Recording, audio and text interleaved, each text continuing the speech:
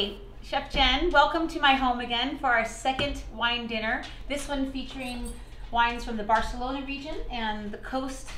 Uh, the Mediterranean. The Mediterranean coast. So we're really excited to have you here again. Thank you so much for um, getting a virtual wine dinner with us. We're really excited about this one. Um, so we're just gonna get started. And how do you start every party? Bubbles. Okay, good. so bubbles. Okay, so Jen, and by the way, I'm Chef Jen, Jen Alderton from Olé, and my business partner Beth Gruich, and this handsome guy behind Tim. He's our culinary director. So this is the family here in the home, uh, and of course my dogs. He really knows the dogs. Okay, so we are going to open some champagne and start off with an oyster. And we have some uh, Pickering Passage oysters uh, from Washington. And when you guys get them at home, uh, and if you're new to the wine dinners and didn't do them last time, I just want to mention uh, real quick, we have a color-coded system. You're going to get some documents and pieces of paper about the wine and also some at-home instructions. And you're going to see all the food for each course is color-coded with dots. And you'll get a little checklist to be able to see that you know each component for each dish. So have your food arranged by the dots. Um, and then also you want to think, when you're watching the video, perhaps you want to watch the video first and then have dinner next, you know, again. So that might be great. Um, because you might want to make the food and enjoy the course and pause the video. You know, make the next course, pause the video. So those are just some fun tips that we thought about last time uh, to talk about. So I also uh, have turned my oven on right now, preheated my oven. Um, a couple minor things like that. So I will let Jen talk about the champagne, and then we'll talk about this oyster that goes with it for our little amuse-bouche. Sounds good. Well, hey everybody, thanks for joining us. I hope you're having, getting ready for a fun evening at home. We're gonna start with bubbles because bubbles are the best way to start. So without further ado, be very careful when you're opening these. Poke my eye out. this is Barcino C3, which is a special wine that we do in partnership with the Crafted Concepts Restaurant Group, which Absolutely. is you, beautiful ladies. So it's a wine from um, Penedès, which is in the Mediterranean coast of Spain, not far from Barcelona, just uphill and slightly north of Barcelona. Uh, sparkling wine from Spain is called cava, but in order to be called cava, it has to be made the exact same way as champagne from France. So that means that you make the wine and then you cause a second fermentation to happen in champagne method, also used in cava, that happens inside of a closed bottle. So the fermentation creates um, alcohol, it also creates CO2, and if the bottle's closed, then those bubbles have to dissolve back into the wine. And that's where you get the sparkling element. It's a little bit more of a complex process um, than some of the other methods of making sparkling wine, and so it's considered to be one of the signs of a high quality wine. So method champenoise, exactly method the same. champenoise. And so, mm-hmm. do they do a dosage? There's a little bit of a dosage at the at the finish. So there's okay. you make the wine and then you add yeast and a thing called liqueur d'expédition, mm-hmm. which makes the fermentation start again. It's just yeast and a little bit of food, and then you close it off and let the fermentation happen. And then after fermentation, you knock the cap off wine sort of shoots out and then you add back in a top off because it has to be sold in the bottle it's fermented in. Mm-hmm. So you top it back off with some of the some wine from another bottle that you've opened and a little bit of dosage, which is a sweetness. Often it's an unfermented grape juice mm-hmm. before it's been made into right. wine, so it still has a little sugar to give some nice balance to the flavor profile. So then we have cava, we have sparkling wine from Spain, Method Champenois, right. made especially for C3. And so what grapes, C3. what grapes are these? Oh, good question. Yeah. These are three traditional cava grapes. They're called Macabeo, Parellada, and Xarel-lo. Okay, Macabeo, Parellada. Those are fun to say. Okay. They yeah. are. Say. okay. I think this wine is super fun, and that's why we wanted to put the Crafted Concepts um, name on it to really kind of promote that within our restaurants because I think a really affordable glass of cava is just absolutely delicious and something you can drink daily. Exactly. Why not? Yeah, why not? and Cheers. the simplicity of this dish, if you're wondering why at home you got lentils, they're literally just to hold the shell in place. That way the shell can sit on something and it doesn't tip over. We've shucked these oysters the morning of, uh, right before you pick up this. We're going to put the oyster in the shell and then we have a really interesting little shiso and cucumber mignonette. It's going to go on top and and that is as easy as that dish is at home for you guys to put together. And ladies, I know, as always, if you'd like one, now you don't have to have one because I know we- we're gonna go through this thing. So if you'd like to enjoy one with the caviar, please Are do. you gonna have Go a right nice ahead. I love them. I got to taste these earlier, and they're fantastic. The brightness of the shiso, Mm. they're delicious. They're so Yeah. good together. The shiso has a really nice little sweetness to it too, Yeah. Which goes well with the saltiness of the oyster, and it's so creamy. So those flavors are all perfect for cava. Really nice. All right. All right. So I'm gonna get a couple things out for our next dish, and um, our next dish is oops, dropping things is a lomi lomi. Thanks, Timmy. Um, and you have a bunch of little components. We have diced cucumbers that we mix with Fresno chilies. We have a little yuzu and olive oil. Um, this is furikake. This is a little Japanese blend of seaweed and sesame and all kinds of good stuff. Micro cilantro, a little cryovacked avocado, which I think is adorable. and we have some cucumber sheets. Uh, Timmy, can I get a little bowl and the salmon? The salmon's in the fridge. So, what um, this dish is going to be pretty easy to, to do as well. Um, inside your little cryovac bag, you have sheets of cucumber that are layered in wax paper. And we are gonna, thank you Tim, you take that out. And we're gonna lay these sheets out. This is gonna be like a sushi roll. So this is gonna be really fun. You're gonna roll this just like a sushi roll. All right, European cucumber has been laid out. We have some beautiful salmon, sustainable salmon we're gonna put in our bowl. And I've given you a little squirt bottle of kosho aioli. And yuzu kosho is a fermented type of yuzu. So there's a good amount of saltness. We're not going to need to salt this fish more than what the ingredients you have here. So that'll be really nice. Um, I like to dice up the avocado is one of my first things. Chester likes avocado too. So he's kind of wondering if he's going to get avocado like he does every morning for breakfast. But I'm going to say no. okay, so dice up your avocado, put it in the bowl with your salmon. And then we have our cucumber and Fresno. And the Fresno chilies do have a little heat, but I think in the ratio that they're in here, it'll just add a nice little bit of, you know, brightness and not really um, too hot. So in this guy, this is yuzu and extra virgin olive oil. We're gonna mix this on top of the salmon. And then about a teaspoon. So you, we gave you more aioli than you need, but you're gonna put about a teaspoon in here. And then mix this guy up, okay? And this can sit, if you wanna mix this up and put it back in the fridge, like this, this can sit for a little bit. Um, it should be fine. I wouldn't do more than like a half hour or so. All right. And then now I want to show you guys how we're going to roll these. So make sure this is out of the way. So there's two of you at home. We're going to split this in two. I know there are a couple single people. So um, for one, we're going to put this at the top part of my cucumber. Let me move that bowl, get that out of the way of the shot. Okay. Okay, so the important thing here, I have this at the top part. I'm gonna use the paper and I'm gonna roll this and tuck it with my hands. My hands are gonna tuck this in nice and tight. And then as I'm starting to roll over, I'm gonna pull the paper back and just the cucumber and I'm gonna roll that around. So that is our little, nice little roll. And do this one more time, even though I think you ladies are just gonna have probably a little bit of one. You make this look so easy. Well, but we, we made I it so at home. And again, you got to keep it tight. So that's just the trick. Is just and then if it comes out the ends, just push it back in. It's not a big deal, you know. Like Julia Child, just go with it, you know. And then and then a little spatula or or your knife is another nice way to do this. Where I take it off the paper, the spatula, and I'm gonna put one on here. I think this will look really striking on a dark plate. Now, then we can put a little garnish on here. And I like to put a little bit of this furikake because I love the flavor of it. I'm going to sprinkle a little bit of this on here. And I'm going to try to make that look real pretty.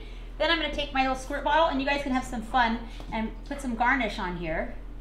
So maybe a little dot, maybe a few dots on top. And then we have some cilantro leaves and micro cilantro. And then we made a rice cracker. So we're gonna make this as simple and you can put the garnish wherever you like. And if you don't like cilantro, there's actually none inside because I do know some people, my mother-in-law has that thing where she really hates cilantro, you know, where people can't, they can't eat it. And then we have this beautiful cracker. This is 100% rice. That's so cool. So and then fun. we've covered it in the furikake. And this is kind of our garnish here.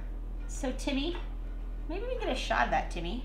And then, so this is gonna be our dish. Push that, no, pull it, pull it back a little bit. There we go. So this is our dish. And this is gonna go with a really beautiful wine. I'm gonna step out of the way for a minute and let the two ladies take it from here.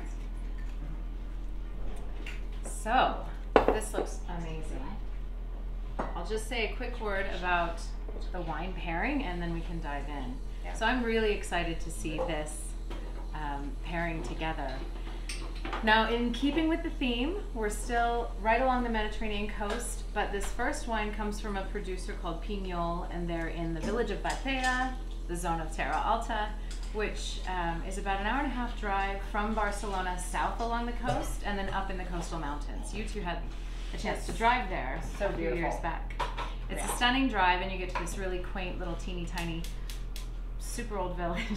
Oh Everything's gosh. in stone and the big cathedral. Anyhow, the Piñol family have been making wine there for four generations, and all of their um, specialist bottlings are named after ancestors. Some of which are still with us, thankfully, but the past generations who were instrumental in founding the winery. So L'Avi Arrufí is named after great grandfather Arrufí, and uh, this is L'Avi Arrufí Blanco. Now, sometimes with wine dinners, you kind of build up to the finale, and in a lot of wine dinners I've done, this is the finale. So I'm so excited to see it as an entry course here. But the grape is Garnacha Blanca. It's white Grenache. This is a grape that originates in Terra Alta, so it's indigenous to this area.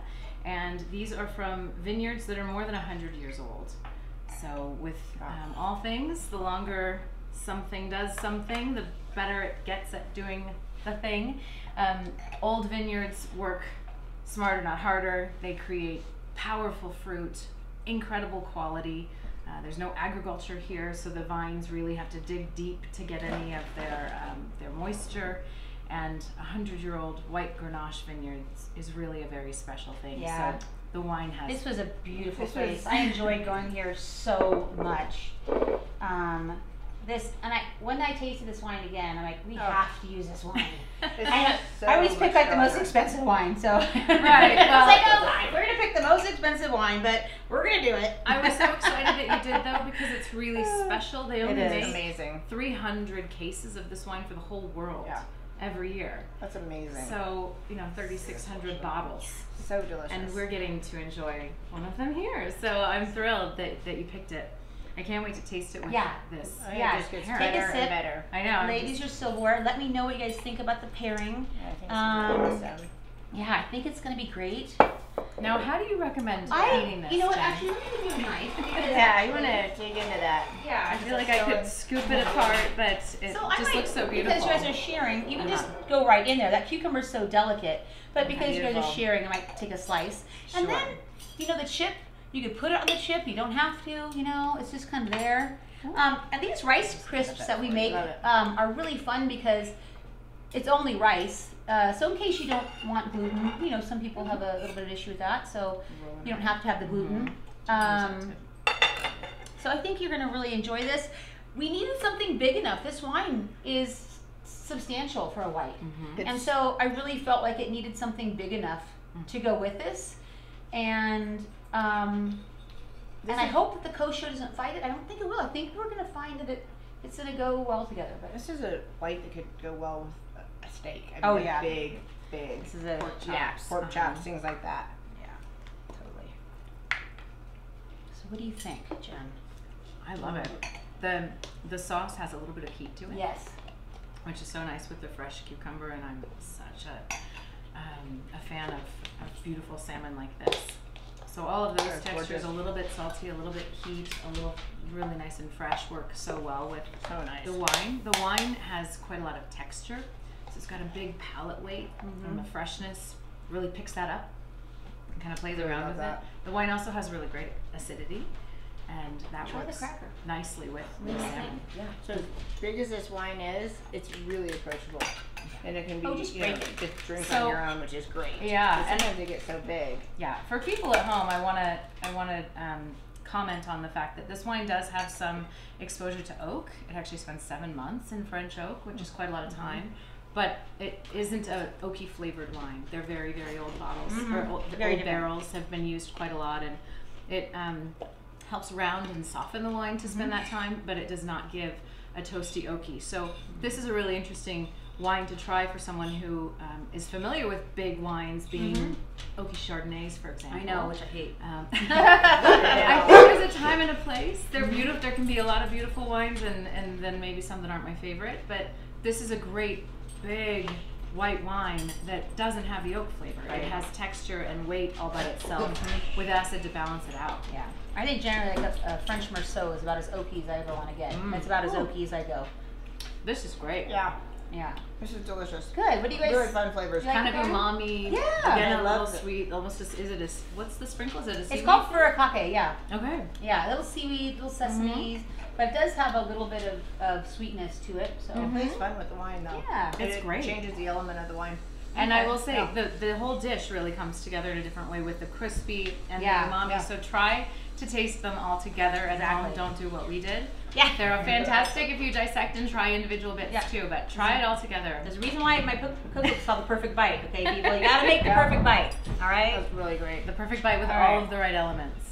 I'm All having right. another bite. Well, oh, yeah, have another bite, and then, mm-hmm. But we'll look at the cutting board while they're chatting. And we made uh, these beautiful raviolis that. Can you see them in the shot? The ravioli on the cutting board. Okay, I just wasn't sure if they're visible. Um, so if you can see, they're square. Um, there we go. Perfect. So we have these. my, my dog's barking. Sorry, guys. Um, so we have these ravioli laid out, and we, we make them from hand. When you get them at home, they're gonna be they're have some semolina on them. I like to dust the excess semolina off them. I think that's nice. If, if not, it can get a little gummy. So that's a nice trick. I, you also have a pot of boiling water on the stove. So we have water boiling right here, and you don't need a giant pot. You're only making a few ravioli, so you don't need to get your big old thing out. I'm gonna get a skimmer, pardon me. Okay, those are gorgeous. And what we're gonna do first is we have the guanciale vinaigrette, and I'll talk about guanciale in a second, but I'm gonna ask Tim to put this in the microwave. Actually, we can put it in a pan and warm it, but there's no big deal. Just put it in the microwave is another great way to already warm this vinaigrette. So maybe two minutes? Yeah. So guanciale is a pork jowl, and this is from La Quercia in Iowa. And La Quercia is a domestic producer of prosciutto um, ham that uh, in the style of Italian ham or Spanish jamon, um, and they're an excellent domestic producer of all these types of cured meats. Really good. They have high quality Berkshire animals. They do a great job. I really love that for a domestic product. Sorry. I keep forgetting to look in the right place, but that's talk, okay. Talk to the rabbit. Okay. okay, so these raviolis are filled with a. So we took corn and we juiced it. We put it in our juicer, and then we put that in the stove, and the natural corn starch thickens it up. wow. So then, cool. and then we, so we just cook that and put a little bit of cream cheese in it and a little salt, and it's just lovely. And so that's all this is. And the guanciale vinaigrette has the pork jowl, um, fresh corn, uh, uh, local Colorado Olathe corn, uh, and shallots, and a little verjus, which is that white unfermented wine that I love so much. Oh. So we're gonna simply put these guys in our boiling water and the filling will turn to liquid. So we have gelatin in here now is why it's sitting up so high, but it will turn to liquid. And we have the warm vinaigrette and then we're just gonna garnish it very simply with the dill, the parsley, and corn shoots. Oh. Love those. Yeah, Fun. they taste, here Jen, you wanna try one on its I've own? never had one. Yeah, if you wanna try it on its It's own. like an itty bitty Aren't corn fun? stalk. Yeah, exactly. They're super fun. Now, usually with pasta, I would have you putting it in some sort of sauce. Now, the guanciale vinaigrette and the inside of the ravioli kind of becomes the sauce. So we don't need any extra sauce to put on this, which may sound kind of odd. So, um, as soon as these come to a simmer, we're gonna not quite there. So you want to pinch the edges of the rav- uh, ravioli and make sure they're just just barely cooked through, not soft al dente. So you just want to make sure they're barely cooked through. And Timmy, if that is hot, whew, then that's Boiling. totally fine. That's a little hot. okay, that's oh boiling. my and smell. Do you smell the porky? Wow, Do you that is hot. smell that? That smells so good. Oh Sorry. I love how porky that is. that Chester Chester also loves it. okay. All right. So then we're gonna scoop these out gently and make sure that. Um, so before you put them in your serving bowl, if you need to put them on a towel to get the excess water, if you can, but you could just skim them well. And I think they just need another minute. How do you know when they're done? I pinch the side Okay. and if the pasta, you know, you could like take a pinch off of it if it's white Sure. inside, if it's not cooked. Right. Can, but um, I just pinch the side. Feels just like just tender. Then it, you know, just barely tender. It's good.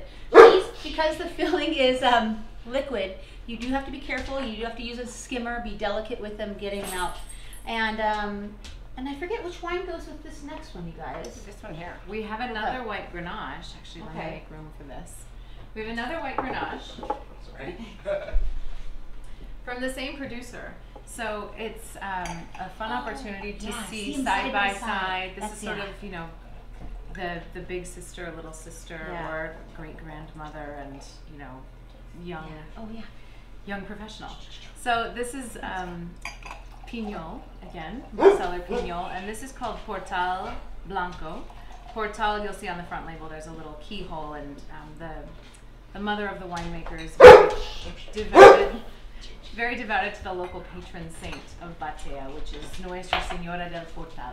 So that's why we have Portal as the name here. So white Grenache again. Terra Alta is the homeland of this grape. It's the origin for the whole world's supply of white Garnacha. So um, very special. Uh, this this winery does such beautiful work with the grape. But this is a, a younger version, so it spends a little bit of time aging, a couple of months on its lees, which are the uh, actually we spoke about lees a little bit before with the champagne and the traditional method. The lees are, are simply the, the yeast cells that have finished the fermentation process and then they settle out.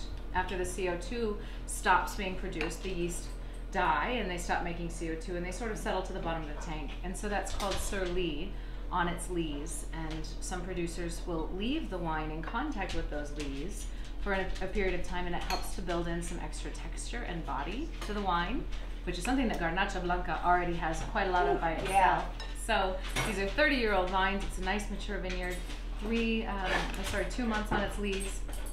No oak on this. So it'll have more brightness in the finish, but a nice enhanced kind of perhaps a touch of toast, not oaky, um, and that, that, that full, that full body texture to it as well. Okay. Well, let me I jump in. It's gonna be great. So I and Ginger is really excited about this dish. Bunch So- of guanciale.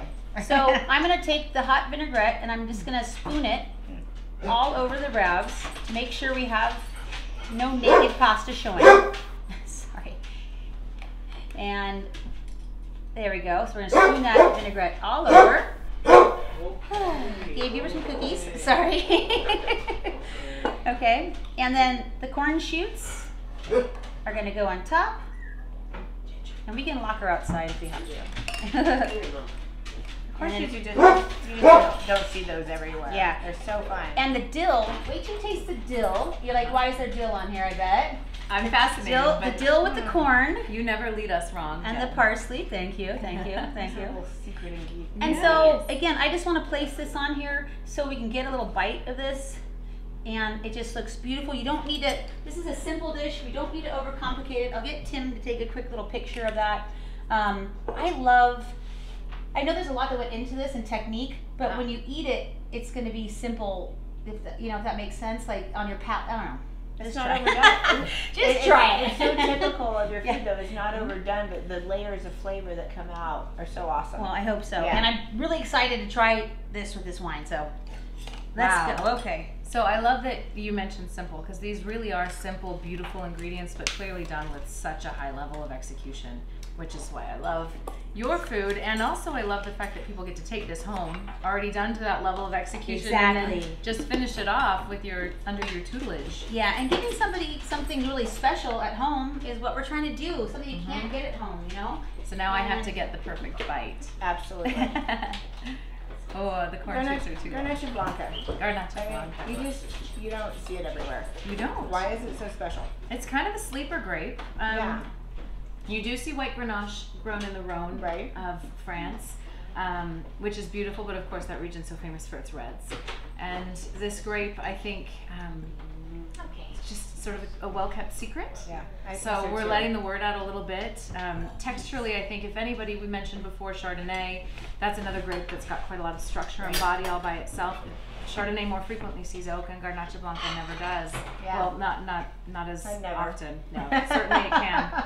It frequently sees oak, but Garnacha Blanca is often seen without oak. I could say. Um, but it's just this this wonderful textural sort of weight on the palate, and then the bright acidity as well that really works well. So um, I can't. I can't wait. You guys are. I I, don't know. know how you guys are doing it. And you see the filling, how it's like mousse. It's Oh, coming it's- out, wow, that's beautiful. And you got little herbs Wow. with Oh that. my gosh. And it's a rich pasta, but the wine is gonna really. Mm. I'm gonna chase this around. Oh, it's so good. it's really fantastic. Yeah. It really is. Mm. And I love that the um, the jowl gives just enough of that kind of heavy, meaty. Ooh. And it's great with the wine. Meaty note. There's not much here, but the flavor is so Yeah. intense and beautiful. Yeah. And then the creaminess of the corn, it really is almost like a custard. Yeah. It's just like what you said. And it's just a natural cornstarch. Wow. Thickening that up. what that is, is there anything delicious. better than just fresh, juicy corn? Yeah, exactly. And you've captured that flavor here. So. The dill is a lot of really fun. fun. Yeah. Right. hmm Kind of So- brightens it up, takes it in a slightly herbal note, which the wine has some herbal notes in it too. It really Yeah. does. It brings that out. Mm-hmm. But Oh, that is fantastic. Yeah, and, and the and the wine helps cleanse that palate. Like you know, I mean, I think sometimes um, you know, when Beth and I pair, we try to pair things that are similar, and then sometimes we try to pair like it'll be great with it, but let's make it opposite and refreshing or something. Like Mhm. you know, so there's a couple. I don't know. It's such a rich Yeah. flavor in the ravioli Yeah, and with the jowl and the vinaigrette. yeah. So you do like it something to cleanse the palate is is really a nice. Well, nice especially touch. if you're doing multiple courses, your palate gets tired. So it's really great. It does, yeah. But you Yes. can't stop. You have to keep trying the next delicious course and the next delicious course. Wow, well done. This is delicious. Oh, I'm glad you guys like it. Not bad. Wow, super fun. All right, Mm. all right. Well, then we'll jump right into the next dish, and I'll tell you kind of what we're doing here. We have um, a beautiful roulade of pork and a beautiful pork sausage, and this is with a green label. And we, when you get the roulade of pork and the um, and your next course, those proteins have been cooked virtually all the way for you to start. So you just need to warm them. So that is something. Um, I do have the oven at 350, and depending on how your oven is at home, mine runs a little slow, uh, a little under. So I put mine to 400 because every time I check it with a, you know, sometimes get a thermometer, check your oven. Seems like mine's always a little under what it says it's going to be. Um, but I think 400 is a safe temperature as well. So let me just get that. We gotta keep it clean. Okay, so you have a few components here. Thank you.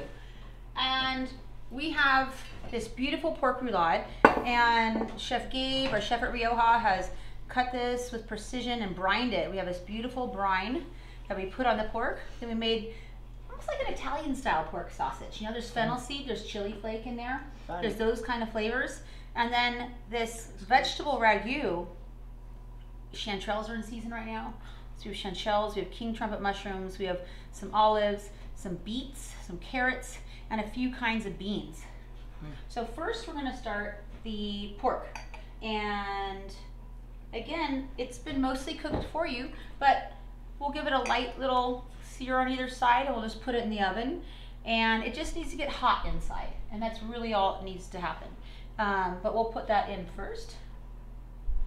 And so that'll go on here. My pan is heated. So I've had my cast iron pan heating. So if you don't want to put that in a cold pan. You want to put it in a warm pan. Um, so that's great. And then I'm not going to get a hard sear on this. There's no need to do that. This has been cooked in a whole loin and we've rolled it and we've uh, Gabe's wrapped it up and then we put it in our combi oven um, that has a combination steam and dry oven. Wow. And we literally like just cook it to the perfect temp the whole way through. So, so it's fully so cooked. good. Yes, You're just fully heating it. cooked, exactly. And the sausage has been cooked, so you don't need to worry about that. Um, Wow. So yeah, it's really nice. Um, and then, so I'm just gonna give this a little turn. Yeah, and I don't need to get a hard sear on this. Makes it Because- so easy for everyone know. at home. Yeah, It it's would make already me look really good if I was making dinner for all of my friends, right? Exactly, it's a good way to show off. Don't tell anybody. Like Makes it watch the look video really and good. make dinner. Be like, oh yeah, I just whip this up. Oh, don't- just- They'll have you in their earbuds quickly, just- like, okay, tell me what to yeah, it do. didn't, Yeah. it didn't take Chef Jen like three days to make this for you. Yes, it did. There's a lot of love that goes into the, the mise en place, as we call it. Wow. So then, while that pork is cooking, um, your ragu of veggies is almost all the way ready, but we have some pork stock and butter that we give you, and we're just gonna put those two together. I'm just gonna put um, put my pot back on. I rinse this out. I could use the same pot. Um, I'm gonna put this on, and Pork stock and butter. Pork Yep. stock and butter. Mm. Hmm. Sounds pretty delicious to me. Yep, it's gonna be good. and then the veggies. And we're just gonna make one of these actually, so I'll probably just make one for you ladies. And I have a little beet green. So we get our beets in and we just keep the beet tops because we think they're delicious. Yellow beets and red beets, you know, you can see how Mhm. the variegated leaves look so pretty. We love that. And I just have that in my pot. Um, and I'm just gonna warm this together. It's gonna be super simple. We've already done all the hard work of roasting the beets, of roasting the carrots. Um, the mushrooms have been kind of seared off a little bit. So now you're just gonna combine flavors. So as soon as this comes up to get, starts to bubble, get hot, just turn it down and let it go kind of slow. Just You know? simmer. Yeah, you don't need to, you're not trying to reduce this. You want a little bit of juice left in that bowl. I'm just gonna turn my, my pork on its side maybe. Those look beautiful. Mm-hmm. And we'll let that go and then I'll probably take, we have a little extra virgin olive oil, a little Maldon salt. I'll take a little bowl to me. Maybe this guy.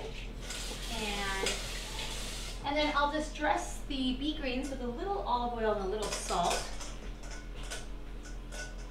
And and I forget what wine does this go with? This goes with a red from the same producer. They're just such a fantastic They are so producer. good. We love them. I actually We didn't do. realize Okay. just we just love that wine. Okay. Well, you won't know it. it I mean, Yeah. We tasted through a whole bunch of different wines from the. Mediterranean region, all up and down the coast, and the ones you chose happened to three of them to, to be from Piñol. that's right. So. I wasn't going to talk you out of it. We're biased. We could easily do an entire wine dinner focus or even a series just on this Oh, winery. They have such beautiful 100%. options. Um, so Ludovicus is the uh, Is that how you say it? 100%. Ludovicus? You can. Some people just say Ludo, Okay. but I think it's Ludo, Ludovicus. I don't know. Ludovicus. I, I was I trying don't to do it and I know I was screwing it up. I'm feeling fancy tonight, so Okay. it's Ludovicus. Uh, this is 100% Grenache. So from those same high mountain vineyards with the Mediterranean influence, but also a continental climate. They're up in that mountain range. Um, this is another uh, wine that a grape that you see quite commonly planted in the Rhone Valley of France. It's a similar heat, and um, this grape ripens so beautifully. So Garnacha, as the Spaniards call it, is always going to have really beautiful brambly fruit notes. What it can also do well is to showcase minerality, and especially with a high altitude vineyard site, the mineral and the cold nighttime air from the high altitude brings such a beautiful balance to what can be a really delicious, generous ripe grape. Terra So- Alta, I mean, obviously. It means Terra high. Alta. and- That's yeah. right. Yeah. So you'll have all the, that nice, rich ripeness of the garnacha. Um, plus, this grows in soils of limestone and clay, so you have some really pretty minerals that kind of refresh that ripe that. fruit. And again, it's cooler nighttime air, so the grapes keep good acidity throughout the ripening season. Oh, this is going to be good with that sausage. Yeah, it is. I hope so. The It's gonna be delicious. And, and the veggies too, with the mushrooms and Yeah. like there's Mm. a lot of like. Yeah. I love that. It's going to be delicious. And again, this Mm. drinks really well just by itself, but yet really does. it's gonna be fun with food. It's a nice guilt-free Tuesday night wine, Yeah. Or Guilt free Tuesday night? Tuesday night? Is there a guilty Tuesday Hold night? Because I've been Tuesday? guilty for a long time. Why, Okay? why is it Tuesday? What about Wednesday? today's what about Thursday? What about Thursday? Yeah. oh, but It's an any night kind of wine. Anyway. A little bit of time in oak, so you get the ripeness plus a little bit of that um, kind of toasty, spicy oak flavor as well. now we forgot. I do want it because you reminded me. The second wine you talked about, we should open that earlier after the. Oh, we'll go back quickly. Okay, yes. yeah, The, just- the L'Avi Arrufí, which I mentioned a lot of times in a wine dinner, will kind of build up to this. It's, it can be the grand finale. It's that kind of wine. However, um, that also means that it will really benefit from a little bit of extra time Right. with oxygen contact. So if you pull the cork, I mean, you can pull the cork the morning you're going to have this and just let it sit and it'll breathe and breathe and just become so much more generous. I told Jen to try and keep this and taste it tomorrow or taste Ah. it the next day, and she luck. just started laughing at me. She said, Wine can't doesn't last very long around me. Well, hold on a minute. That- For those of you that have purchased the wines for the dinner, and there's maybe two of you, these wines will last They till will. tomorrow. So that's the great thing about it. So you can actually pair them up and have a good time. Okay, now if there's a good shot, or should I put this back on the stove, Matthew? Is this a better shot to see how this looks? Okay, yeah. So um, there's a little bit of juice left, and I'm gonna spoon um, this in here. And I don't need to season this. That pork stock and everything has seasoning on it, so I feel like this is gonna be perfectly seasoned. Now in this bowl, you see how there's just a little bit of that juice. The pork stock and the butter have kind of glazed the veggies and it's shiny and perfectly beautiful. And I do think it looks perfectly beautiful. Just Love that. yes, already, already sexy, already. It is. And Ah, Wow. it's so is perfect. good. Like It's Just glistening, and, but not, you know, still so firm. Yeah. And, This one's done. Can't wait to Okay, here's the pork. And then what I would do at home is I would just give it. You don't have to cut it at all if cutting it intimidates you. Was it a one but- bite? I well, yeah. but I would little cut it one time in half, and then I would just I'm just gonna kiss this just for two seconds. Um, so I think about five or six minutes if your oven's. So oh, I should back up a little bit. When you bring the food home, the mise en place, the meat and the pork, I let them sit out for at least an hour to temper a little bit. So if it's ice cold, it'll take longer to cook in your oven and it might dry out on the outside. So sorry about that. I forgot to back up a little bit. I like to make sure I temper the the meats like an hour. You just sit them on your counter, and that way when you cook it, it's not such a shock to the system.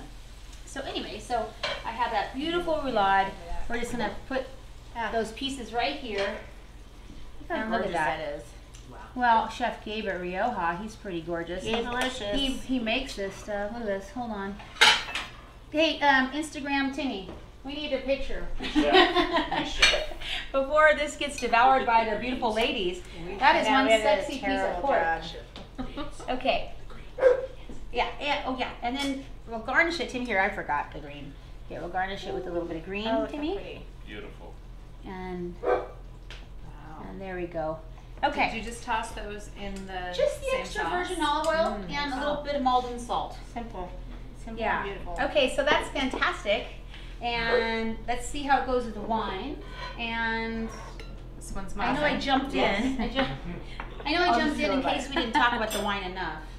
No, Wow. no. I, I think, I mean, with this wine, it, it is meant to be just really wonderfully approachable. It's got great fruit and great earth, so it's a really nice bridge mm-hmm. between more New World styles, American, Napa, Yes. those types of wines. Yes. You know, Washington and Oregon have plenty of Garnacha, and but it still feels Spanish. It still has that Totally. earthiness. So it's a really nice kind of bridge between your, t- your typical old world and your typical new world styles. I love seeing what people are doing in the new world versus old, mm-hmm. and really, a lot of them are still paying homage to a little bit more fruit on it, but mm-hmm. Yeah, They're that's, really that's what, again, for maybe some people at home, I do think New World Spanish is gonna be brighter, more fruit. Old World, right? Maybe a little bit, not dusty, but a little bit, Yeah, no, it's not dusty, but it's definitely a little bit more tannins, and it's not as a fruit bomb on the front. They're just like, ooh, That kind of rustic, Right, earthy, that's a little mineral. just for people at Yeah, home maybe. I want want you to look for the mineral here Yeah. because there's fruit. It's it's a beautiful kind of dark berry compote kind Yeah. of fruit that garnacha has. But there's also you can you can think about things like limestone and clay, and you realize that there is a bit of earth here too, which is a nice a nice contrast. yeah, you don't get that huge berry bomb, which is amazing. It really balances out. Hmm. wow. Okay. Ladies, gentlemen, ladies, people, ladies and germs. ladies and germs. It's delicious. Okay. How does it taste with our wine? I really like the The in sausage, there. yeah, it's got some nice texture. spice. Mm-hmm. I need to get a fork. Yeah. Let's see. There's more spice in there than I thought, and it really brings out kind some of of the characters of the wine. comes out a little later in the bite. Yeah. Mm-hmm. Just gonna take It really does, yeah. The beans. And we love those heirloom beans from Rancho Gordo. They're so good. Mmm.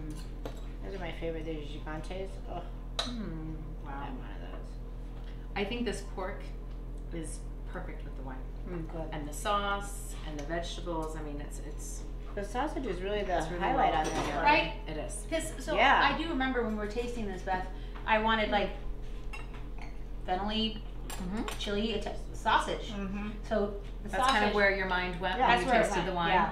That's And then highlight. Fun. And then it went to things in season right now with chanterelles and the beets Mm-hmm. from Colorado are in. I just thought the earthiness might be nice, but also some, you know, some And the little, olives. little bit of sweetness and. So good. So that like that last bite was mostly chanterelle, hmm and they're so gorgeous. Yeah, they're good, right? Mm-hmm. Yeah. This type of wine, any earthy wine, garnacha, of course, with Mhm. mushrooms is is pretty much a, pair, a match made in heaven. But All this, right. this sausage is something else. Yeah, it is. It's delicious. Did you you make this in house? Mm-hmm. Absolutely. Oh, please do not offend. Did she just ask that out there? What do you think? I want to give you credit for your excellent. Oh my gosh! Now, by Excellent made in job. house, it's not made by me. Again, Chef Gabe makes it. Anyways, Really delicious. Wow. Chef Gabe, Wow. as you saw in the last I video, have another bite. he's just on the other side of the camera today. So, okay. I'm gonna have another So bite. yeah, you guys have Take it another away. bite. I've only Yeah. made you one each, so you have to share. We can share. Okay. we're so, I yeah, I don't need much. Now, this next course is with my favorite of the wine in the series. Now, that Ah, your favorite. this Elo Monastrell just blew me away. So, yay! the Elo Monastrell just blew me away. There's some good It's wines in this lineup, so that's a big pretty impressive. It's really. Well, if you stop making all these, have your people making all these crappy wines, we get some good wine dinners out there. God, what are we doing? No. It's so, tough to be slumming with you. I know. all these Wow. terrible ingredients and bad wine and all the bad company we have. know. I hope you guys are having fun at home too while you're doing this and drinking some drinking some wine and having some fun. All right, so this is, you know, So this dish is kind of meat and potatoesy, but elevated meat and potatoes. I know that's, you know, like With a polish. Yes, blue. So this is blue.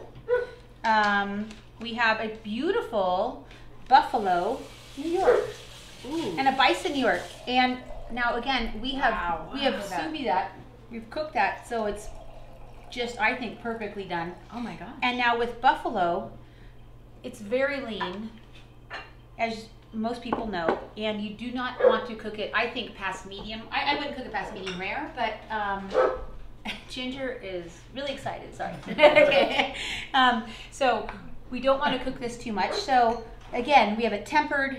Um, so oh, the roasty potato. That's She thinks she's getting some buffalo treats. Yeah, she's exactly what she thinks. Anything is what she's gonna get. She's gonna get nothing like it. Okay, so we have a beautiful roasty potato, and since I might make two full plates of these because I think this needs to be made. You know what? Please don't throw us away. I feel bad eating in front of you guys, but please do because But it's, it's your Delicious. job.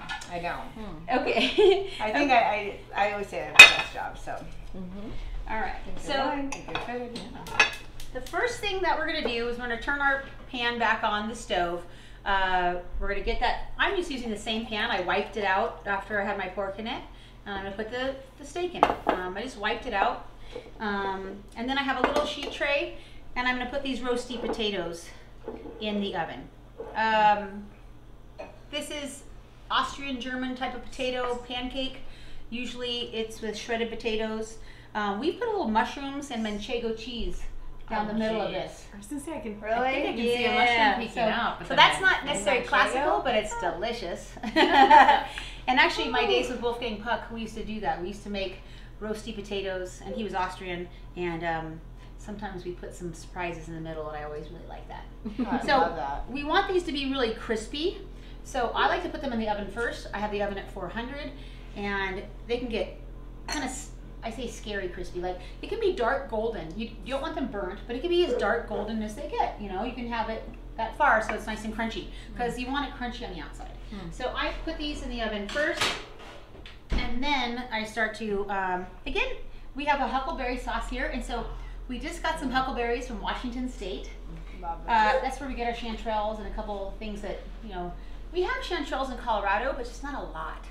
And we had no water this year. I was gonna say. And the mushrooms needed some water. Mhm. So our mushroom season in Colorado isn't as great um, as normal. So we have this beautiful sauce, um, and we have the huckleberries in there. You can again put it in the microwave, or you could put it in a pot on the stove. I'm gonna have Tim just give it maybe a minute or thirty or whatever since we boiled that last one. right. Since we got that last one a little hot. Very. I don't microwave much except for like a cup of tea Me and too. popcorn, so I don't really know how long stuff takes in a microwave. I have they- young kids, so they I do a lot of 30, 45 seconds. And you said two minutes. I went, oh. Oh, yeah, see, okay, yeah, that's a little long. But Yeah. they vary a lot, though, right? I mean, size They do. wise, all that stuff it varies. So. Okay. My mom sets hers by the power levels. I don't even.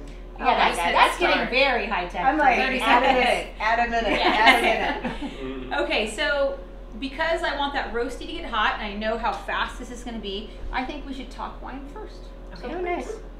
I'm just still so I- I'm gonna I'm gonna rinse out my glass yeah, and and get ready for this. so This excited that you said this is your favorite of the whole lineup. That's It's wine just is so cool. sexy. It's, It's really so sexy. sexy. It's So That's the only Alo, to say it. Alo, Alo. Okay, so we're in the Mediterranean. We took a little bit of artistic license here and went quite far south in the Mediterranean. So if you're looking at a map of Spain, and we'll provide one for you with the, the stuff that you get to, to take home with you. This is on the southeast coast of Spain, not far from a town called Alicante. And the zone is named Yecla.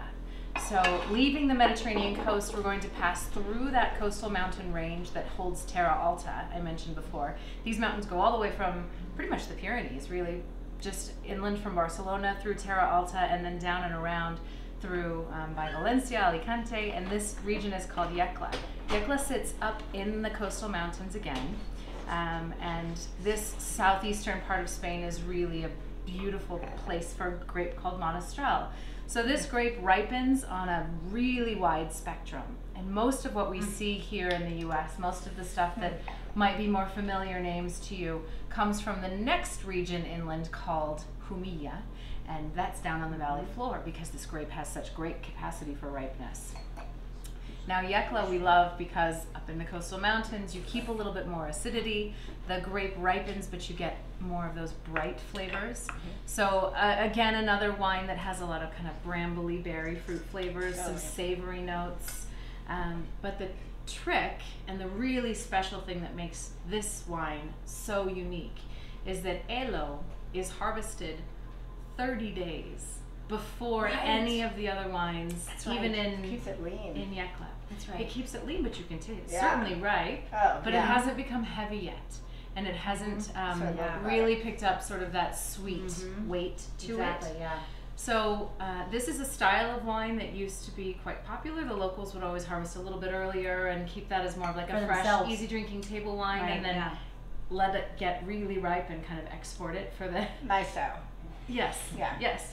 For sure. Me too. Me too. So awesome. So the winemaker here is a, a man called Alberto Orte, and he is a, a disciple of history. Loves to research old traditions and find out particularly if someone tells him, "Oh, we used to do that, but we don't do it so much anymore," he wants to figure out why and is it worth keeping and let's not lose Oh, this that's tradition. so cool. And so he was walking through the vineyard with um, with the property owner and uh, found this this tiny little parcel. It's the highest altitude. It's pure um, limestone on pre-phylloxera rootstock, which is a whole different thing we don't have time to go into now. But look it up; it's interesting. And uh, he said, "Wow, this fruit tastes ready." And the owner said, "No." No, no, we'll let it go for another month. And he thought, how can you possibly let it go for another month? It'll be too far, Yeah, too, too too ripe, too ripe by then. It'll be raisins. And the the property owner said, no, no. Um, we used to we used to make an early harvest wine, but now we'll let this go. And so Alberto, um, I don't know how he convinced the the kind vineyard owner, but he did, and um, now he gets to do this little experiment. So he brings in the fruit a month early, but it's quite bracing and, and pretty aggressive at that point, even though it is ripe. So it's um, ferment. It's it's let to go for an entire month in contact with its skins, a nice long slow fermentation. Then it spends time aging in cement, and then it spends time aging in oak, and then it spends time in the bottle before it's released. So 2014, this wine is harvested six years ago, Mm-hmm. um, and still was just as fresh and bright as if it was made Oh. yesterday. That amazes me that it's been sitting that long. It really does. And it doesn't overtake any of this because especially with buffalo. And, and It's so, so lean, again, right? lean, lean. So you see where I'm Totally, going yeah. here. So I'm gonna that. I'm gonna start this. I'm gonna put a little bit of oil in my pan, and now Gabe and I have seasoned this buffalo, but at the end you have your um, Maldon salt, and maybe we'll put a little Maldon salt on the at the end. But I don't think you need to season it right now. Um, we've tried to make make it very simple for you guys to just do this. I love it as that So- garnish, that little crunch too. Yeah, and actually this piece has a little fat on it. I'm gonna put the fat side down and render that fat a little bit. Um, but you can also do that in the oven too, so it doesn't doesn't matter. So again, I'm gonna put a little sear on it, but not a hard sear. That hard sear could dry it out. So that's where I would just caution you against a hard sear that it might dry it out. So a gentle sear. Um, I might ask Gabe to go take care of Ginger, who my dog is causing a ruckus in the mudroom. I apologize, but So- she's irate right now that she's not getting any buffalo. I'm picturing that um, at home, my dog would be doing the same thing. Anybody who has a dog, they So go to be in the sorry. kitchen, right underneath your feet. So I apologize, but hey, you're cooking in my house with me, so this is what you get. Oh, here they come. here they go. It's okay. It's all right. They can come in. It's fine. Okay. Gabe, you leave them in. He's We'll just right. give them some cookies. It's fine. Just give them a bunch of cookies. Okay. All right. So um, you have a little bit of chard and you have a bit of raw kale. Now this kale comes from Rebel Farms, and this kale is grown in a hothouse. Um, it's hydroponic, but it's still indoors. It's not. It's not in dirt. It's hydroponic and through water. And unlike other lacinato kale, which that's the variety this is, it's very delicate. So we're gonna put this kale on fresh, and then we're gonna put, and we have chard that's been braised. So I'm gonna turn this meat over. I'm gonna put this in the oven, and when this is hot, just hot through, just like warm because it's already cooked perfectly. I'm gonna put the chard in the same pan.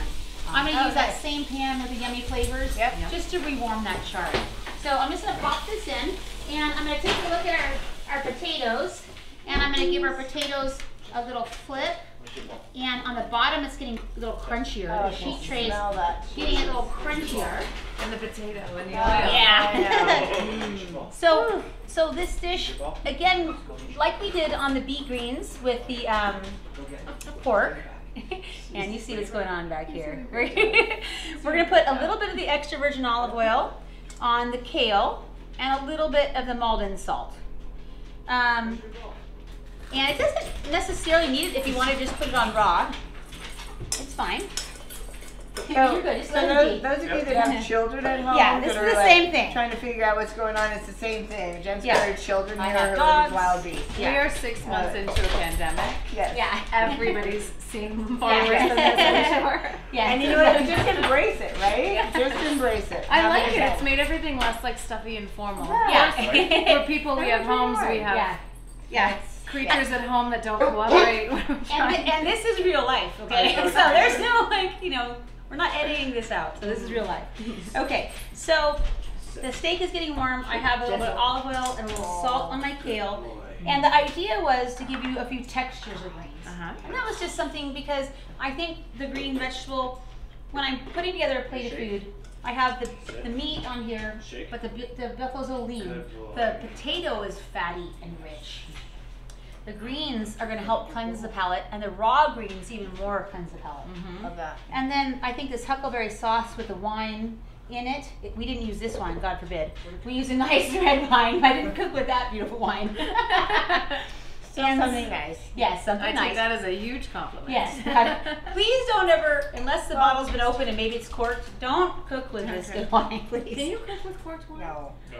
I haven't If tried. it's oh, Don't like if it's turned, you can cook with it if it's opened and it's turned. Just too old. But not not corked. not corked. Okay, Not thank corked. you. You don't Yes, want I to cook with anything corked. It smells like wet dog or cardboard. Your food will taste And you like will- corn. Wait a minute, is that why I don't know? Because my house always smells like wet dog? Is this why we don't know what happens? Because I live with wet dog at all times? Okay. But they don't smell like Okay, cardboard. so It's okay. Okay, okay, I solved the mystery. Okay. All right, so we are gonna make this beautiful. Oh my God, All right, it smells so, so good. This potato is sizzling. Mm. You can see how nice that is. And we are gonna put this on the plate. It's like a work of art. My kids talk about a crunch meter. Yep. Oh, When crunch eat with the crunchy crunch foods, meter. Oops. These potatoes would be on the crunch meter. Yeah. Oh, okay. And then at that. there actually is a bag of treats in there. That shelf right here. Oh my God, they're getting their, their whole feeding. She says this is working perfectly. Well, not the whole bag. I'm just saying. Okay, so the same thing uh, with the buffalo. Let me move my glasses so you guys can see on the cutting board here. Um, I would give this buffalo a few slices. You don't have to slice it. If that intimidates you at home, you can put it right on the plate and it'll look beautiful. You know, it still look gorgeous. I like to show off the temperature, so maybe one or two slices. And and that way, you want to slice it that way, right? Yeah. That way And- it's nice against the grain. Yeah, and so we're just gonna set that, I'm just gonna set that here for now. I'm gonna set it here, and I forgot to do what I said I was gonna do. I'm gonna rewarm these greens in that pan. There's plenty of residual heat in this pan, just to warm them. They've been cooked for you, so just warm. Okay? And yes, so like Beth said, we're gonna slice this the way that the steak looks. It should be pretty obvious. And that's just warmed through. I, like, I so set that here while I'm waiting. The sous vide like just cooks it all the way perfectly, right, Jen? You know, the idea Okay. that we put it in this oven, so we put it in the oven at the exact temperature and the probe only cooks it to that exact temperature. It's amazing. The outside of the oven never gets hotter. it's unreal. So unlike, you know, you put it in a 350 oven, you pull it Yeah. at 120, the outside is still hot, you know, Yeah. this is not gonna do that. So I we're gonna that. put just a little bit of these greens on here. Beautiful. A little bit of these on here. We're gonna put our beautiful Buffalo New York Wow. right here. And I am gonna put a little bit of that Maldon salt on here. Mm. Just a little bit. I think, you know, it's also a texture thing where the texture of the crunchy salt is really nice too. And most people like to put a little extra salt on their steak at home. I think that's nice. Um, then I'm gonna put our huckleberry sauce. I'll put a little on and a little around that plate. So some drips on, some drips like off. It's beautiful. And the huckleberry was also has a good amount of acid. So that's gonna help. And then maybe a little fresh green. Just a little bit on here. And the texture will be really nice. And wipe that little guy. And then that's ready for Tim to take a picture and us to enjoy. So and and again, who doesn't want a fancy hash brown? Roasty potato. who Well, doesn't it, want a fancy just, hash it brown? justifies the lean buffalo, you know, mm-hmm. which It is does. amazing. It Wow. does.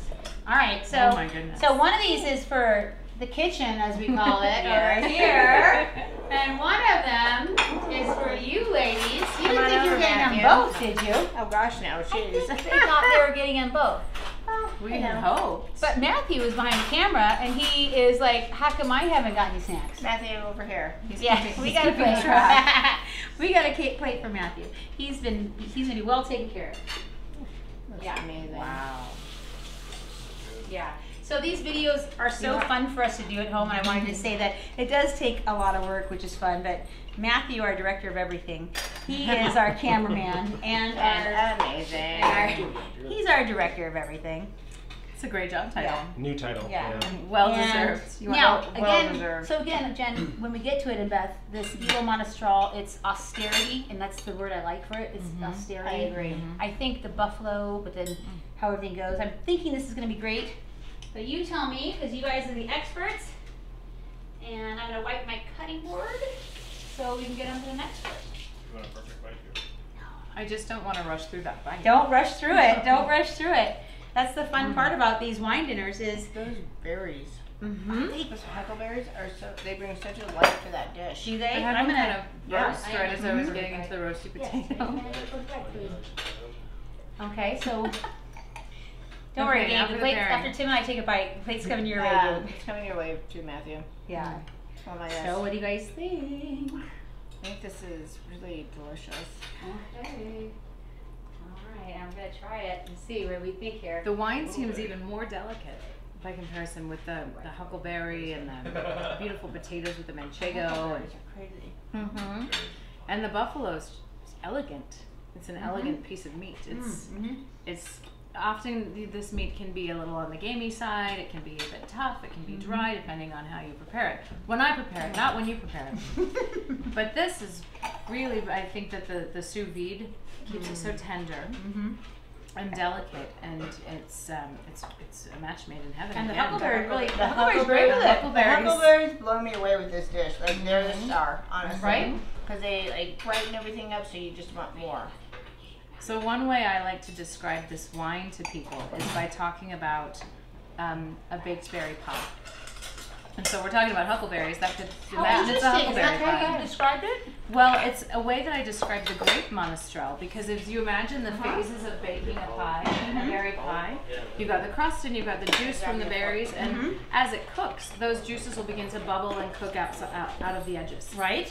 And so, an early harvest monastrell, it's just begun to sort of bubble around the crust, but it's still sticky. Hmm. And then, as you get more and more ripe, Ah. you know, eventually by the time that crust goes certainly golden brown, and maybe sometimes you forget it for an extra five minutes too long. Okay, I know, but still. Yeah, and so those berry juices have now gone dark Mm. and they've gone um, black and burnt around the, the outside with the sugars, and so you can sort of scrape them off and it'll stick Oh. to your teeth. Yes, I love That's the Valley Floor Ah. Monastrell. It's that right. Oh, I love that. But it's Love the, that. the transition between that just barely starting to bubble and sticking to your teeth. That's the whole spectrum that Monastrell ripens on. Hmm.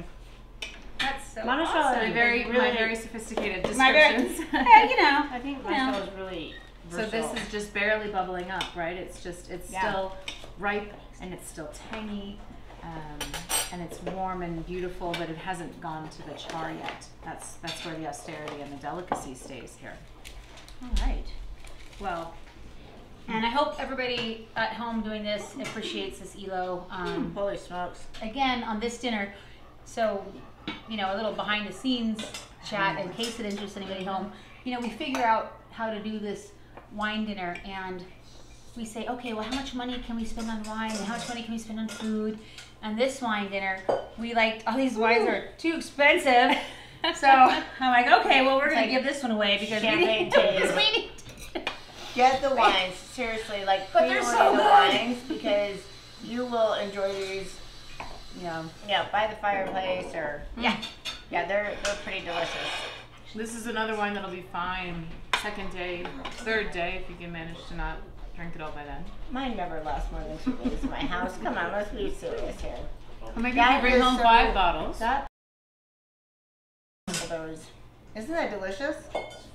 Gabe's eyes are like this big. It's super fun. Good. Yeah, so good, right? Wow. Oh my gosh. Oh my gosh. Look at that.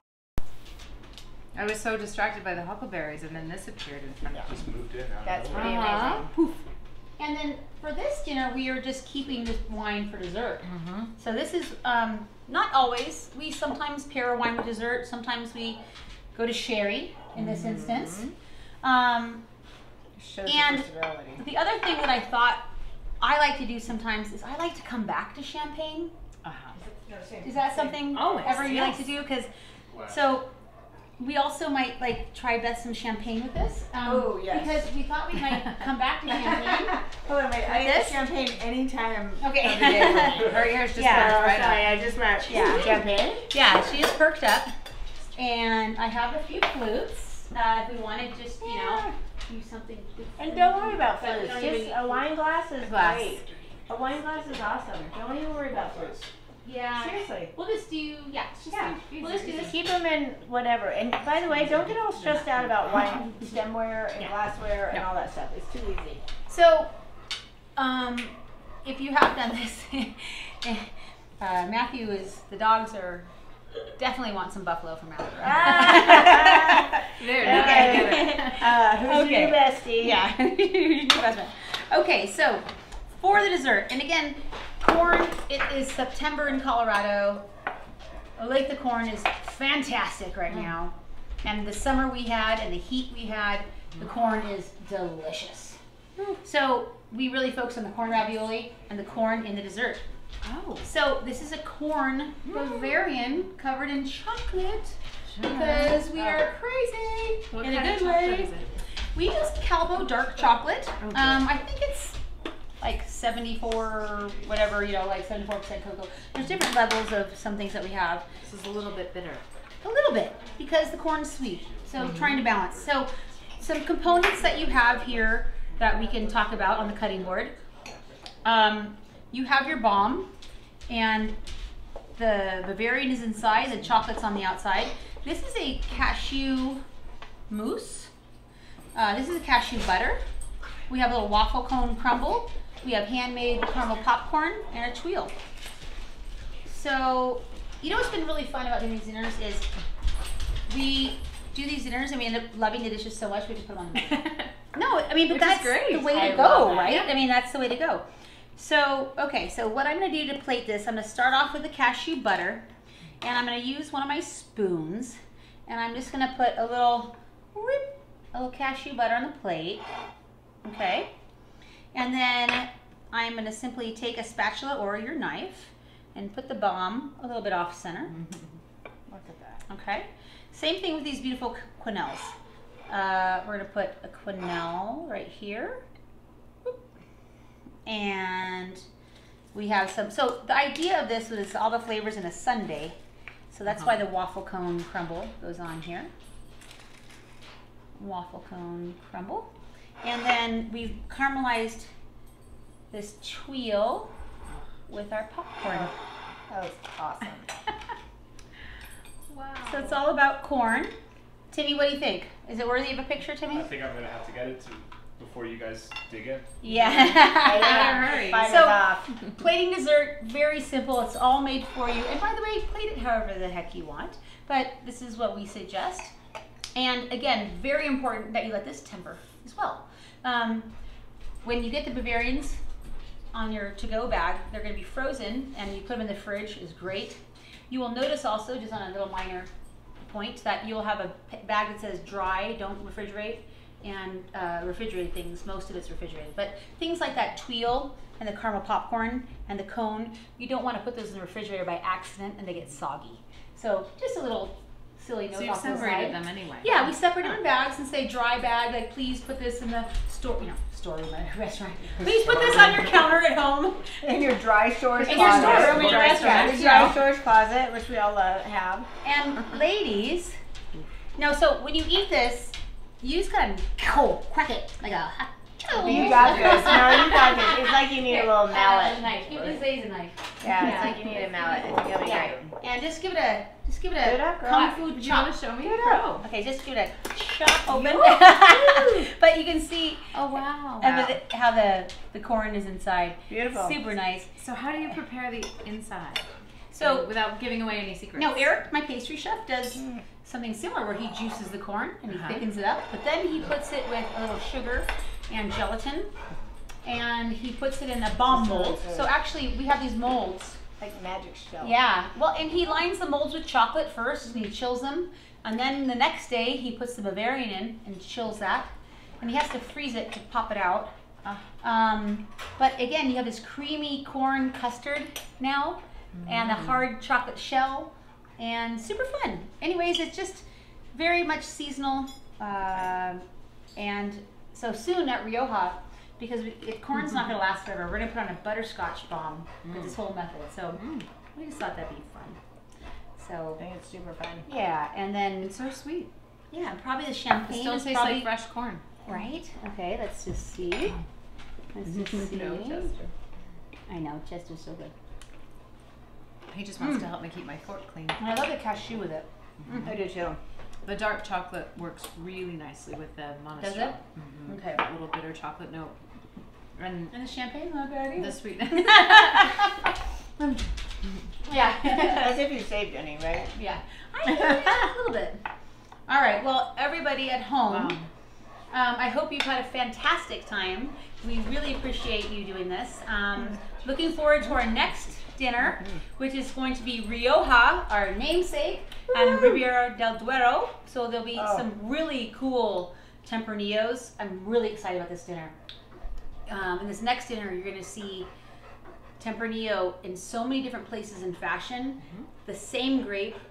I think it's going to be really fun. Um, and that's in October. I think 21st is our Third uh, Wednesday. third Wednesday. Yeah. Whatever the third Wednesday is. So Super thank fun. you so much. And thank you for putting up with my dogs. And Jen, Super and Beth, fun. and Tim. And Super Matthew. fun. Everybody. Cheers. Cheers. Cheers. Cheers. Always so great. Everybody, Cheers. thank you so much. Be safe, be healthy. Glad Thank you guys you. are having fun. Take care.